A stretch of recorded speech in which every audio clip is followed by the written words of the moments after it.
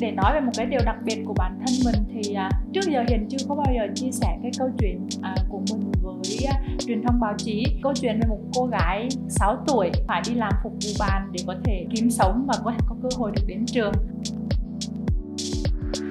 Trải qua rất là nhiều biến cố trong cuộc sống thì à, hình thành một thu hiền rất là mạnh mẽ rất là bản lĩnh. À, tự tin luôn luôn tin tưởng vào cuộc sống tươi đẹp này.